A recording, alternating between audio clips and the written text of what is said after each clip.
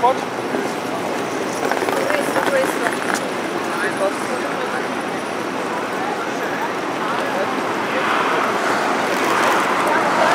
Nein, noch nie auf so eine Tour.